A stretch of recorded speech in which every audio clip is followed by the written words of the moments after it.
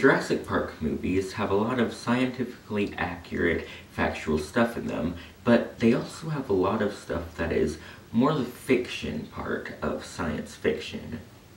My name is Luke, and today I'm going to be talking about the scientific inaccuracies of the first Jurassic Park movie. This is going to be in a series, so I will make the other movies later on within this scientifically inaccurate series. So first off, we have the velociraptors in the movies. They're way too big and way too smart to be real velociraptors, so essentially they're way too scary.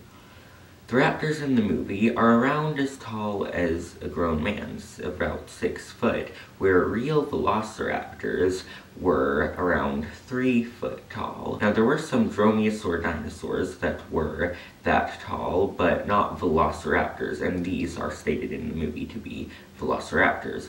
Also, they are a lot smarter than any other dinosaur was. The smartest dinosaur was known to be about as smart as a an opossum. Yeah. Next we have the Dilophosaurus, who is arguably the most scientifically inaccurate dinosaur in the entire franchise. The Dilophosaurus in this movie was small, around four-ish feet, eh, when in real life it was a lot bigger than that. And of course, a lot of people have said maybe it's a baby, maybe it's not, and the Jurassic Park franchise hasn't really confirmed this. It has been seen both ways. Some things say it's a baby or juvenile, some things say it's a fully grown adult.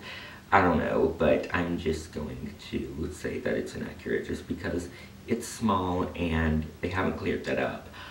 Also, it has a frill that pops out like one of those really freaky lizards from holes, and there was no scientific evidence to support that Dilophosaurus had this, while there is no scientific evidence to the contrary that it had a frill like that, it is very, very, very unlikely because it's just as likely that a T-Rex had a frill like that. And also, the Dilophosaurus spits venom at its victims in these movies, where, again, it could have, but there's literally no scientific evidence whatsoever to support that. Next up we have Tyrannosaurus rex, who is really very scientifically accurate with size and all that, but one thing they got wrong was its eyesight.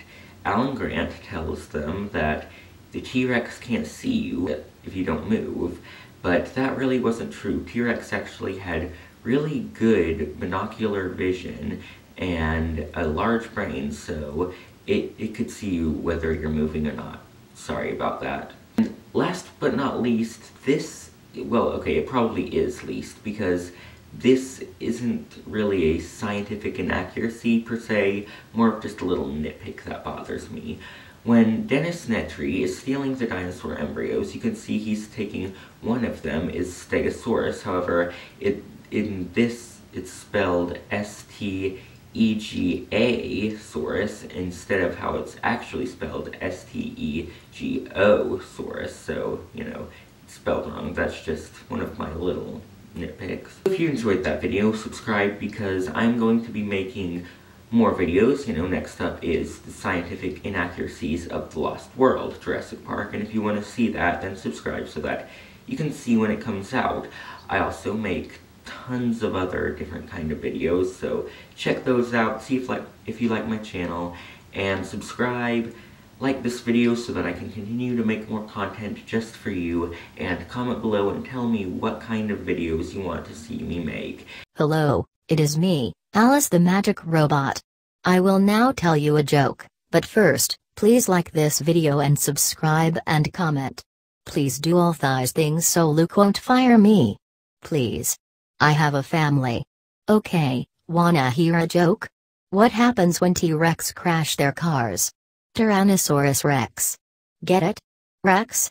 Ha ha ha ha lol I am so hilarious please subscribe so I can keep my job.